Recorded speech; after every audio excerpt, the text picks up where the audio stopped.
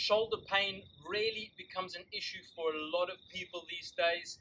Um, and it can be very, very frustrating at first because it can seem like such a difficult challenge to solve the shoulder pain. I know this myself, and I'm sure if you're watching this, you've had some kind of shoulder pain before, and it can really, really interfere with your training. It can interfere with your motivation and your mood and your energy levels to do other things. But the good news is that most shoulder pain can be resolved without any serious um, medical attention or, of course, without any serious surgery. The number one thing to remember when it comes to shoulder pain, or for that matter, any other joint pain or tendon, ligaments, muscles, any kind of pain, there's something that's very, very important and very, very useful to learn, and that's what I want to share with you in this video.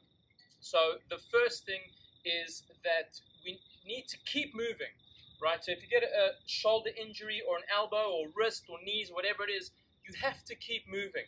Very, very gentle at first, very, very lightly at first, but you have to move. Um, oftentimes, the medical community will tell us once you've injured something, oh, just rest, just leave it still, let it recover. It doesn't work like that. Of course, once after you've immediately done the injury, it can be very, very useful to rest for 24 hours if it's a knee or a shoulder, just to rest it, just to let that inflammation go down a little bit, to let the pain subside. But very, very soon after that, you have to start moving through that joint area again. The second thing to remember is that when you do start moving, it has to be pain free. So, in the context of the shoulders, you can start lifting stuff again in all the different shoulder positions, whatever shoulder workouts you're doing, you can start lifting again, but it has to be very, very low or preferably zero pain. So what does that mean? So in the context with me, I used to have a shoulder injury. It's, it's still recovering. It's much, much, much better. But when I first had the injury, I couldn't lift further than that. Like that's as high as my shoulder press would go. So then that's what I did, pain free, right? Because if I went too high, it started to hurt.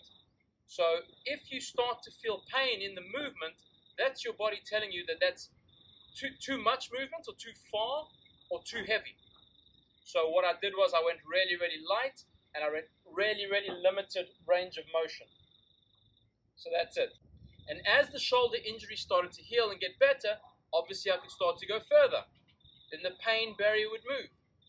So those are very, very important things to remember. You have to keep moving and you have to move in an absolutely pain-free way.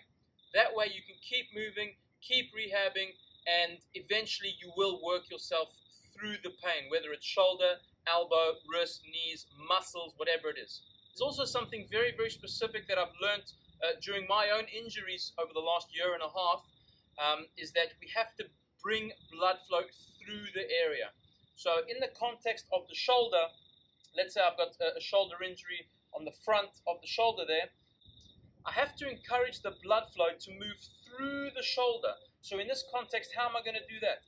By moving below the injury, right? So the injury is there. I move the parts of my body below the injury, and that's going to draw blood down, obviously because there's work happening here. So it'll draw blood through the shoulder. It'll warm up the shoulder, as it were, by bringing this blood through that injured part down into the extremities. And that's the first step to resolving an injured shoulder. So, what do I do? Um, what did I do to recover from my injured shoulder? And it's actually something now that I do all the time, um, every day, almost every day, if not definitely every second day, because it feels so good for my arms. It warms up the shoulders and the elbows and the wrists, and then I can go and lift, um, go through my workout, whatever I'm doing, with, with really good feeling body parts, which is really what most of us want. So, what I do is because I'm treating a shoulder, I start to draw blood down through the arms by moving the lowest part of the arm first and then slowly working my way up to the shoulder. And I treat this as kind of like my warm up before I actually start doing some shoulder work, which we'll get into a little bit later on. So, what do I do? So, the first thing I do, obviously, is just the wrist rolls. Just warming up the wrists, warming up the forearms. You can do those figure eights you do it with the, fist closed. So what I'm doing is I'm squeezing my fists, which is really activating my forearms, and this becomes quite hard work eventually. You can do it with the hands open, of course. It's a little bit more poetic. But same thing, I'm moving the wrist, drawing blood down through the shoulders, down the fore, down the arms, down the forearms, getting things going. So something else I do with the wrists after I've done those figure eights, I don't actually know what this is called, but this is just an old broomstick I had lying around the house. And I'm just lifting, lifting the hands, working through the wrists, activating the forearms there. And obviously, turn the hands around, do it the other way around. You can see already my veins in my arms are starting to fill up with blood. That's exactly what you want. You're getting that pump in the muscles. You would have heard a lot of people talking about the pump, and that's obviously when the muscles are just full of blood. The rule of thumb with all these movements that I'm going to show you, whether it's the wrists, the elbows, the shoulders, when we've got no weight or very, very light weight, we want to get to 100 reps. That's a good rule of thumb. And you'll know, like, when you get to the 100 reps of this, your forearms are going to be like Popeyes. Blood is going to be flowing. You're going to be feeling really nice and warm. Fantastic. Something else I do for the forearms. So, as you can see, I've got this piece of string with some metal bars in for some weight. This bit of string, I can obviously put it onto my broomstick as well. Um, and I just use a little bit of extra weight. It's actually just for some forearm strength work as well, but it works equally well. So now, in the previous section, you saw I was moving my wrist like that. With this tube, I'm now moving my wrist like that. So same thing, the 100 rep magic number, but I've got some weight on this right now, and now the work starts. That's it. And then I go the other way. See, now I'm bending my wrist the other way, downwards. So this is really activating on the top of the elbow, the bottom of the elbow, and again, drawing that blood down the arm. Most of these you can do without weight when you're just starting, but eventually it's good to add some weight to your wrist work because you do really want to strengthen the forearms. That's going to help you further down the line when you start to lift really heavy stuff. Often, it's not because we're too weak, it's because our grip is too weak, we have to drop the weight and we can't continue the reps. So forearms are very, very important. So next up, we've done the wrists, which has brought the blood through the forearms. Now I'm going to focus on more moving through the elbows. That, of course, is going to include the biceps and the triceps. For this, I just use a simple band, but um, you could use no weight at all again, you know, especially if you, you're quite badly injured. You don't want to use any weight at all. Basically, I'm just going to move through the biceps pump the biceps like that. Really short range work. It seems a bit weird at first. We're not used to doing this stuff. But once you get to that 100 rep mark, you're really going to feel the blood in the biceps.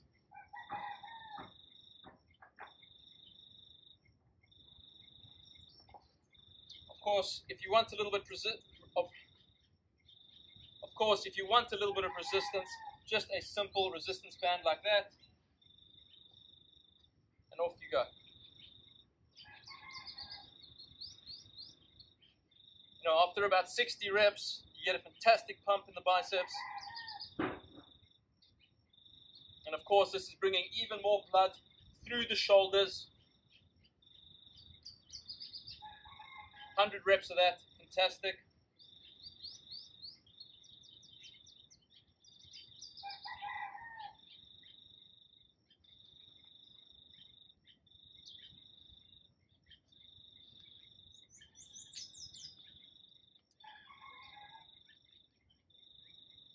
The triceps are the triceps are a little bit more tricky, but of course, if you're going with no weight at all, a simple overhead tricep extension can really work. You don't have to go full range of motion. You can just kind of pump it halfway. You can do both arms at the same time. Already, you know, 10, 15 reps. I'm feeling the triceps nice and warm.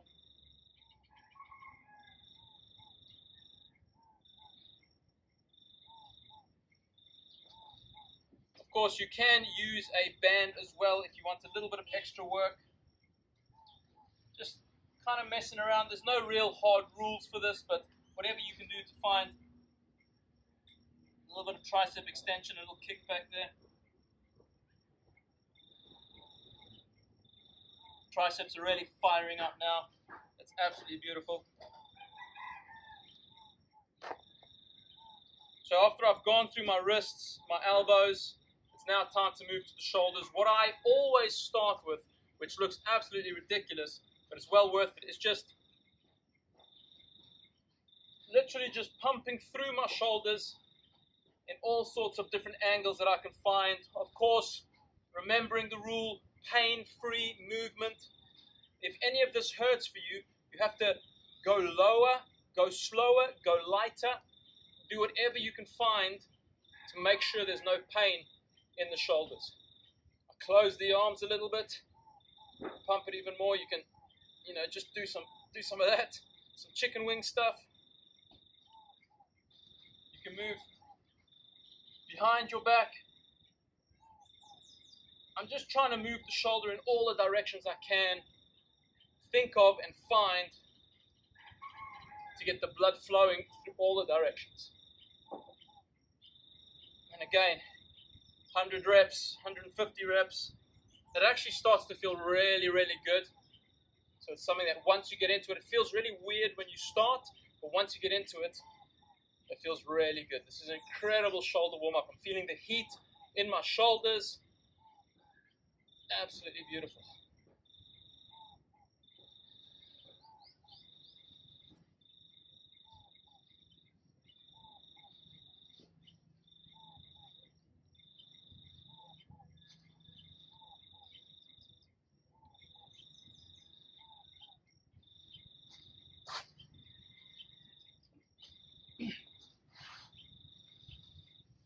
Once I've once I've warmed up the shoulders nicely, I can then pick up my band again. I highly recommend getting yourself a couple of bands. Uh, they're fantastic for working out and especially for all sorts of different kinds of rehabs. So the next thing I'll do is just some band pull aparts. The idea is that I'm really kind of activating the shoulder blades here, activating the back of the shoulders.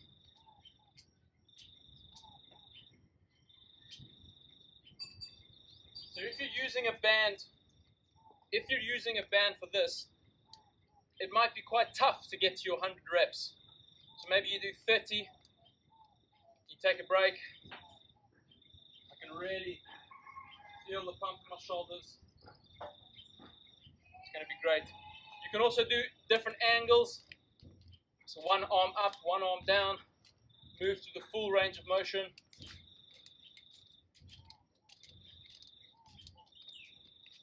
It's really, really important to warm up the shoulder blades and the backs of the shoulders. I would say for almost whenever you're going to do some kind of upper body movement because what we tend to get these days, the reason for a lot of our injuries, myself included, is that we spend so much time on the computer, these muscles get exhausted or they're very, very weak, and the, the, the shoulders just tend to round in, and then we go to work out, and we don't know it, it's very subtle, but we go to work out to be rounded in like that. And what do we all love to do? We all love to do bench press, push-ups, all those kind of things, all in the front here, making these muscles short and you know tight and strong. And then you get the shoulder rolling in, and you can get some shoulder injuries. Most shoulder injuries occur on the front, of course. They can occur everywhere, but everything I'm showing you now can be very, very useful for most, if not all, shoulder injuries. I should say, if it's a very, very serious injury, you should get some medical attention first, a physio or a doctor, to make sure there's nothing seriously wrong with you. But in most cases, just a muscle or a tendon, which we can solve this way. Once I've done the backs of my shoulders, I'm back on the band. And I just wrap it around. And I start to do some chest flies. So now I'm just kind of pumping the pecs, bringing the blood flow through the shoulders into the chest. So I've got the blood flow going down the arms, I've got the blood flow going around the back, and I've got the blood flow coming in the chest. 100 magic reps of this, up and down, extended, close, Anything you want, any movement that feels good for you, any movement that feels good for your body.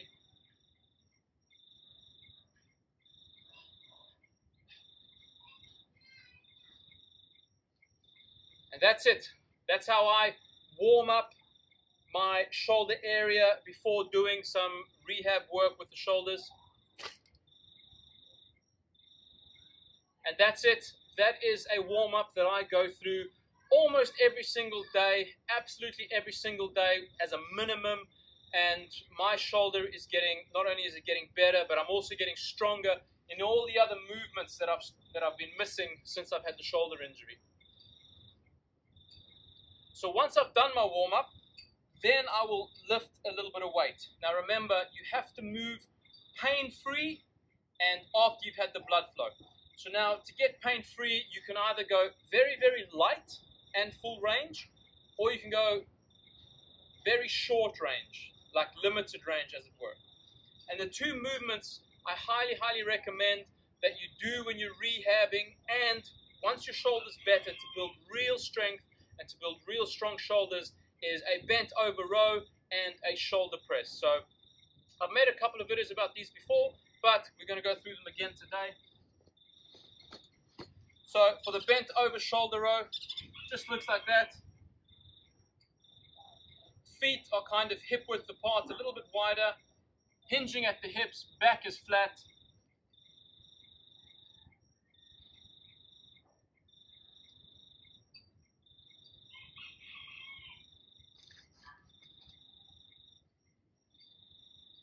So pulling the bag up to the chest, hands are quite close to the nipples, elbows are high, and I'm actually really pinching my shoulder blades together here, really trying to activate the back of my shoulder muscles as much as I can, and moving nice and slow. Now remember, if this causes you pain, you can just move as far as you can move. Maybe you can only move up there. Maybe you can only move down there whatever you do, make sure you stay pain free. That's the bent over shoulder row. That was the bent over shoulder row. Next, I'm going to show you the shoulder press. So, just cleaning the bag onto the fists. The fist is the most comfortable for me, but you can hold the bag any way you want. Overhead shoulder press.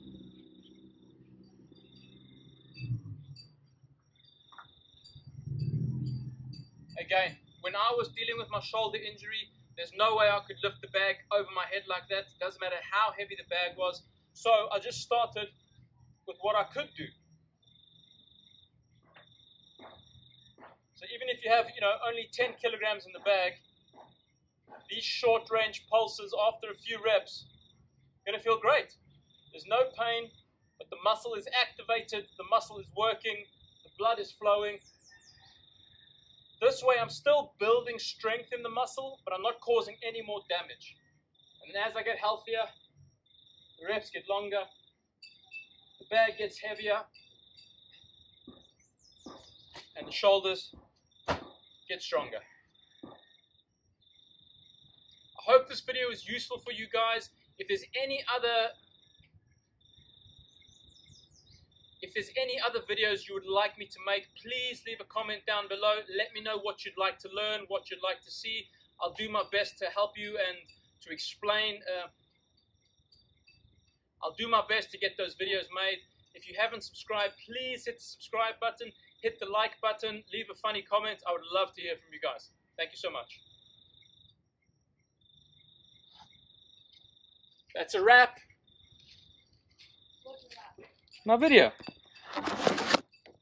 Jesus, man.